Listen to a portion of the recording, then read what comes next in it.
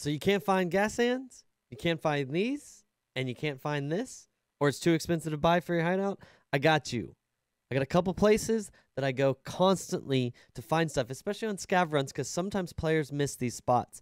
They're quick and easy. You can be in and out, and you can use the no backpack extract on interchange. So let's show you this real quick. Let's knock it out.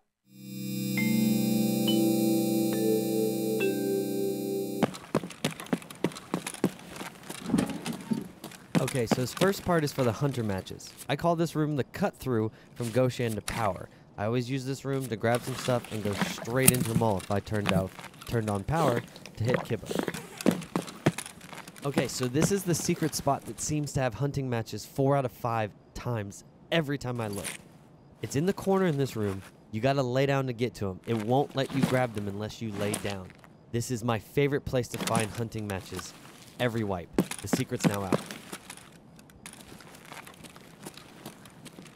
Okay, so this is my favorite place to get Gasans and electric drills. You can even find GPUs here, and you don't have to battle 30 players in a tech spawn. This place is across from Emercom and diagonal from Costin. You can find so much stuff in this room, it's almost a little secret that's also now out. Thank you everybody for watching. Quick, easy one. Just wanted to help y'all find them because I know everyone's struggling. And the price of hunter matches is insane. And you can't even buy them on the market. Right now, all you can do is trade for 250 rounds of BS ammo or a rival's armband. It's impossible. So until next time, guys, don't forget you can check me out on my Twitch every Monday, Wednesday, Thursday, 9 p.m. Eastern Standard Time. Until then, peace.